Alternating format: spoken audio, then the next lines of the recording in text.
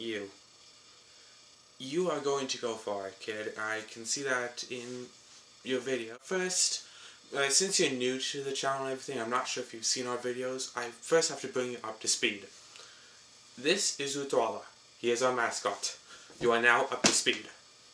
So, what book changed your life? Like last week's topic was what book got you interested in reading. This one is what book changed your life, and that's a that's a weird that's a difficult one to answer because I went along to my bookshelf, got a few books out, because uh, perhaps the one that changed my life was Paper Towns. It has had an influence, but it hasn't changed my life. My life changed before I even saw that book. 1984, it's such an important book, but it's so dull right away that I never even read it. Perhaps it was Harry Potter. Now this book came out quite some time ago, but at a time when I'd actually be around to read it. I don't think it changed my life. I don't really remember the book all that well, but pretty sure this is the exact same copy that my mom read to me back when I was a kid, and that's kind of brilliant in a way. Something from my childhood I can now just hold and interact with, and chapter 11, Quidditch. And just, it kind of experience it all over again, but it'll never be the same. The closest thing that I could find to the book that changed my life, one that I could actually find that I still had, was this binder. It's, it, yeah, you can argue with me, but a binder counts as a book of at least some sort. But, because this binder is my cheat binder. All these different games, we mostly PlayStation 2 games, back from quite a few years ago. However, the one I'm pointing out to the most, Harvest Moon, Friends of Mineral Town. Now, I can't find that game anymore. I looked for I can't even find my Game Boy Advance anymore. And that's kind of disrupting, disturbing to me, because I don't know where it is, but I don't need it anymore.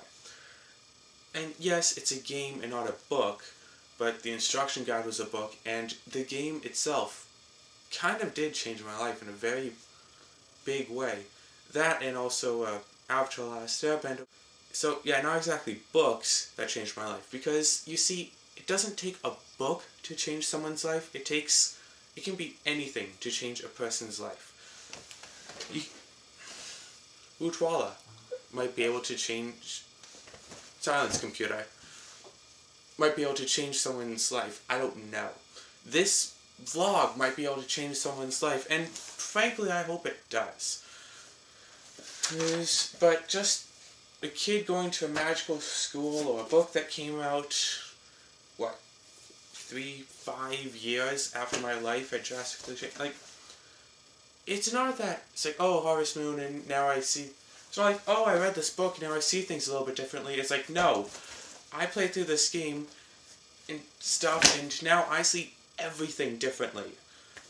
Like, uh, I can't even explain it without going rambling on about something slightly off topic to this, but every day of my life it has been different, basically since the game and the TV show, but no actual book involved.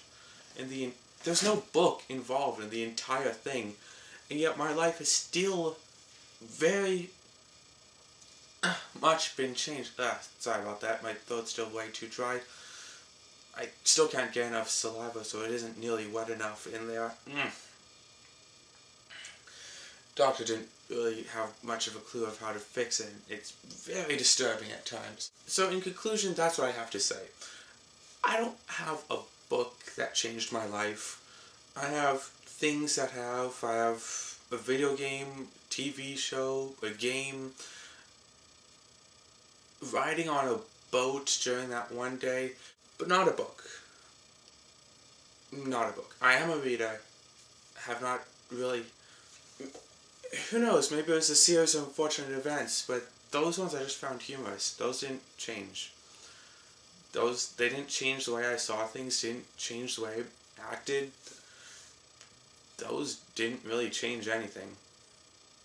Books usually don't.